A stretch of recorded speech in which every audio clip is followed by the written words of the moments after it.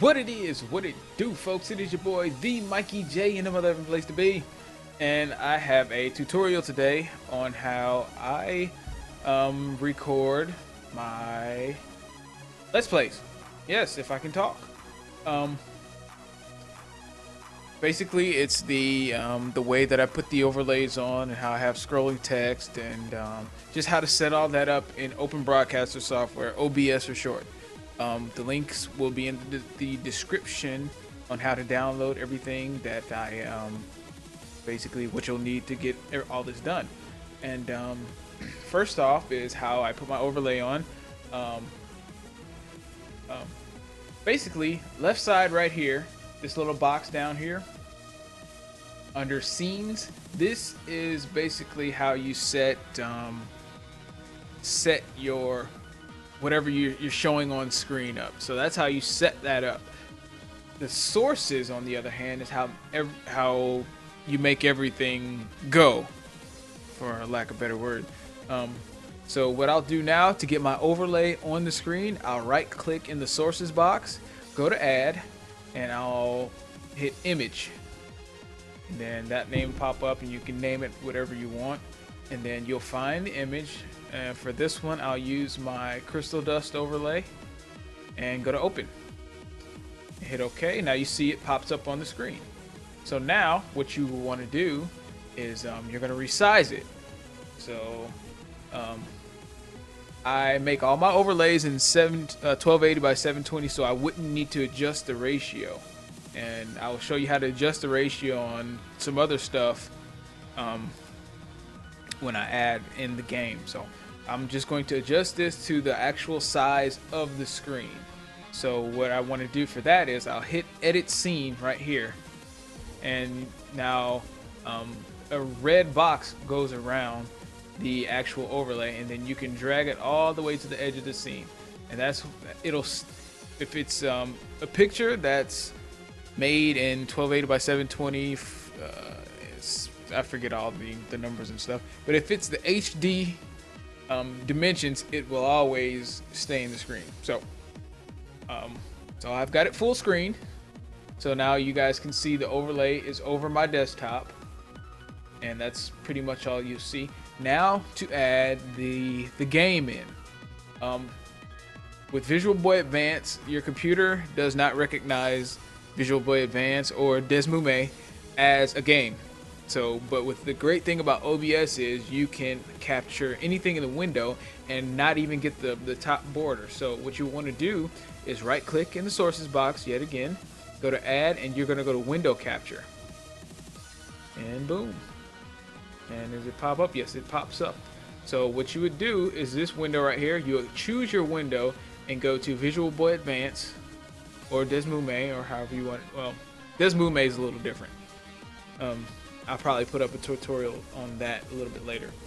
But um, what you would do is you want to tick inner window, keep that ticked because if you do the entire window, it's going to show the uh, file bar and all that kind of stuff. So tick inner window, and then you would um, whether you not you whether or not you want to show your mouse, you hit capture mouse cursor or untick it to not capture it. Okay, and then pretty much anything else you don't want to mess with. Everything else is pretty cool, and you hit OK. Now you see it popped up in the right hand corner. And you can see. Now if you drag it it's going to keep its ratio. See that? How I get it to fit in my in the little box that, that I made in the overlay what you want to do in OBS you want to hold left shift. You hold left shift and then then you drag. So that means you can um, basically um, leave out the ratio and scale it to however however big you need it. So what I do is um, just get it to the box if you can. If you Want to be a dick? Don't be a dick. It's not cool to be a dick. But yeah, get it to the box, and then it's just not gonna work for me like that. But um, and then you scale it to however big you need it to be. And now you see that it's sitting on top of the overlay. To get it down from the overlay, what you want to do is you want to click um, your window capture right here under here, right click it, and then go to order, and then you're gonna move down. Now it's underneath the overlay as you guys can see in the top left hand corner.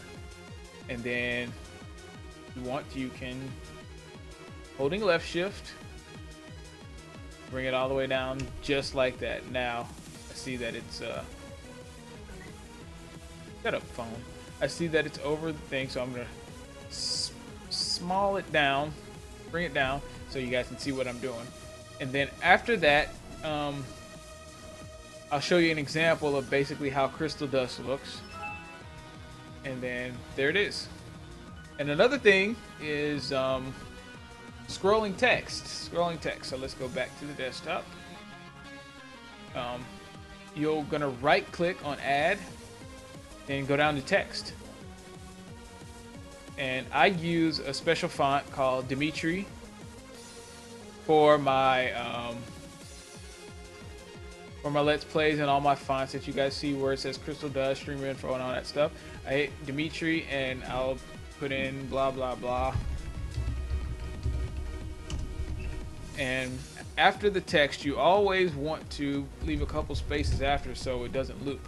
And for your scroll speed, you set it at 100 for that steady pace and then you hit OK. So now you guys can see in the upper left hand corner that it says blah blah blah. And I'll just put this down in my streamer info and it's the same with um, putting it underneath. Just go to order, right click on it, go to order, and then set it up underneath the uh, overlay image.